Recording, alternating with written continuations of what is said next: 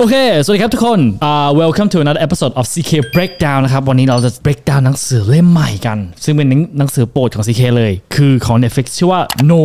Rules Rule ซึ่งเขียนด้วย founder ของ Netflix นะครับ No Rules Rule เนี่ยย่อมาจากอะไร ย่อมาจริงๆเขาเขากำลังบอกว่าจริง ๆ กฎใน HR กฎข้างใน Netflix อะจริงๆ มันไม่มีกฎเลย มันคือกฎที่ไม่มีกฎ คือคนข้างในอยากทำอะไรก็ทำได้ อะ ไม่เข้าใจใช่ไหมครับ เดี๋ยวอาจจะอธิบายนะครับ chapter แรกเขาบอกว่าสิ่งที่สำคัญมากๆสำหรับ Netflix อะคือสิ่งที่เรียกว่า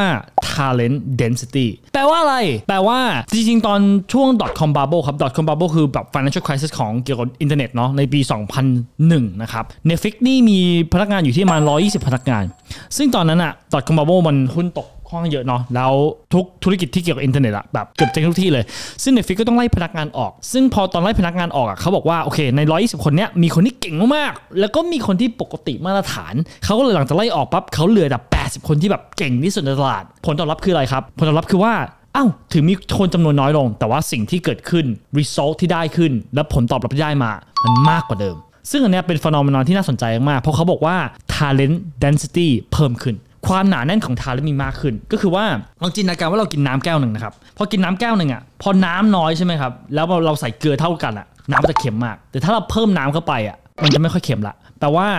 concentration ของซอลอะมันน้อยมันมันน้อยลงพอเราเพิ่มน้ำซึ่ง talent ก็เหมือนกัน พอเรามีคนเก่งอย่างเดียวอะ สมมติ 80 คนนี่คือคนเก่งทั้งหมดอะคนถ้าคนเก่งจะชอบทำงานคนเก่ง แล้วมันทำให้การทำงานอะสนุกสนานมากขึ้น เพราะว่าคนเก่งอะมันจะผลักดันให้คนอื่นอะทำทำมากขึ้นด้วยซ้ำไป แล้วเข้าใจว่าเอ้ยเป้าหมายคืออะไรอะไรอย่างเงี้ยครับก็เลยอันนี้เป็นสิ่งที่สำคัญสำหรับ Netflix มากเพราะงานมันเสร็จเร็วกว่างานเสร็จคุณภาพมากกว่า แล้ว as a result Netflix พัฒนาได้มากๆเลยในช่วงเวลาที่เขามีแค่ 80 คนนะครับแล้วทำไม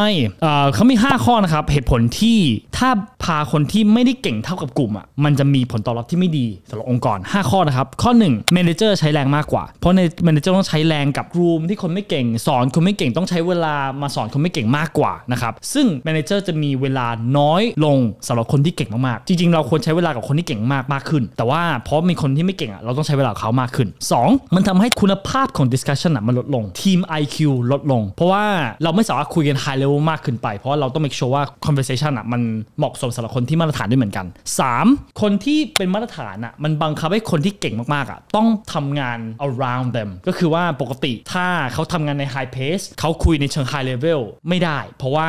คนที่มาตรฐานอะจะตามไม่ทัน มันก็เลยทำให้ efficiency ของตัวทีมอะก็ลดลงเหมือนกัน 4. เขาทำให้คนที่เก่งมากๆอะอยากที่จะออก เพราะมี1 2 3แล้วมันทำให้แบบรู้สึกว่าทีมแบบไม่ตื่นเต้นไม่เก่ง แล้วเขาทำให้คนเก่งอยากจะออก เพราะพอพออยู่มีคนไม่เก่งอยู่ในทีมปั๊บคนเก่งจะไม่อยากอยู่ละ 5. ก็คือเขาบอกทีมภายนอกและทีมภายในด้วยนะครับว่า CEO ของเราอะรับคนที่มาตรฐาน ไม่รับคนเก่ง ก็เลย 5 ข้อนี้ครับเป็นเหตุผลที่เราไม่ควรรับคนที่ไม่ได้เก่ง เราควรรับแต่คนที่เก่งเท่านั้น อันนี้สิ่งที่ Netflix บอกเนาะเพื่อที่จะ make sure ว่าความหนาแน่นของ talent สูงตลอดเวลากฎ2ครับของ Netflix Netflix บอกว่าถ้าคุณคิดอะไรคุณพูดเลย อันเนี้ยคือ no rule rule อันแรกนะครับคือไม่มีว่าเฮ้ย you คือ CEO หรือว่า you คือผู้ใหญ่อย่างเงี้ย you ห้ามพูด ถ้า you คิดอะไร you พูดเลย ห้ามเก็บเอาไว้ เพราะว่าเป้าหมายของ Netflix คือว่าเขาอยากให้แต่ละคนอะช่วยแต่ละคน succeed สมมติว่า CK กับเฟิร์นอย่างเงี้ย CK อยากให้เฟิร์นดีขึ้น CK ก็ต้องบอกเฟิร์นตรงๆ โดยที่ถ้าถึงทำอย่างเงี้ยจะทำอาจจะทำให้เฟิร์นรู้สึกไม่ดี แต่ก็ต้องให้ feedback นี้ไป เราไม่ควรมีความเกรงใจในภายในองค์กร แล้ว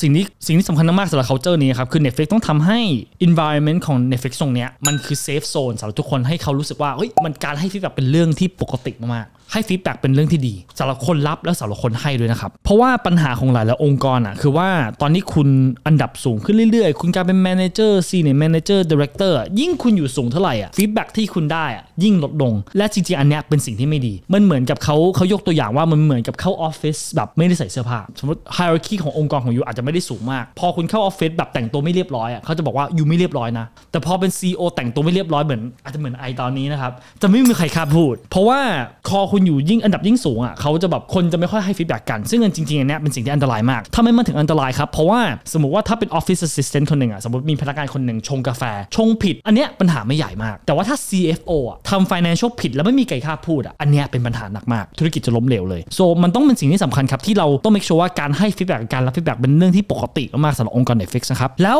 จะทำอย่างนี้ยังไงทำยังไงล่ะคือโดยเฉพาะสังคมไทยเนาะมันยากมากสำหรับถ้าแบบบอกให้เฮ้ยเด็กจบใหม่แบบบอกว่าเฮ้ย CEO you แต่งตัวไม่เรียบร้อยอะไรอย่างเงี้ยมันก็มันก็ยากใช่ไหมครับ Netflix เขาบอกว่าทำไงครับ สิ่งที่เขาทำคือเขา set up meeting เลย มีประชุมอันหนึ่งคือสำหรับให้ junior ให้ feedback ให้กับ senior เลย บอกว่าเป้าหมายของ meeting เนี้ยคือ you ต้องบอกว่า I พัฒนาจะตรงไหนได้บ้าง อันนี้บอกเขาเลยตรงๆว่า session นี้มีเพื่อสิ่งนี้จะทำให้เขาอะกล้าที่จะให้ feedback มากขึ้น แล้วตอนที่คุณรับอะสำคัญด้วยนะครับถ้าตอนที่เขาให้ feedback มา you แบบ defensive มากโหทำไม you คิดอย่างนี้ทำไมถ้า you react อย่างเงี้ยเขาก็จะไม่กล้าให้ feedback you อีกถัดไป so คนรับก็สำคัญเหมือนกัน ต้องรับด้วยรอยยิ้มรับด้วยอ๋อเป็นผู้รับฟังที่ดี แล้วต้องขอบคุณด้วยว่าที่เอ้ยที่ให้ feedback เรา แล้วต้องไม่ defensive ด้วย เขาจะได้กล้าที่จะให้เราที่นอกเหนือจาก session นี้นะครับแต่ session นี้สำคัญครับสำหรับมันเพื่อกลุ่มว่าเฮ้ยจริงๆมันเป็น environment ที่ให้ feedback ได้ แล้วหลัง hopefully หลังจากนั้นไม่จำเป็นต้องมี session เขาก็สามารถให้ feedback ได้เหมือนกันครับมี 4คำแนะนำนะครับสำหรับให้ feedback แล้วก็รับ feedback ที่ดีสำหรับ give feedback ก่อนนะครับ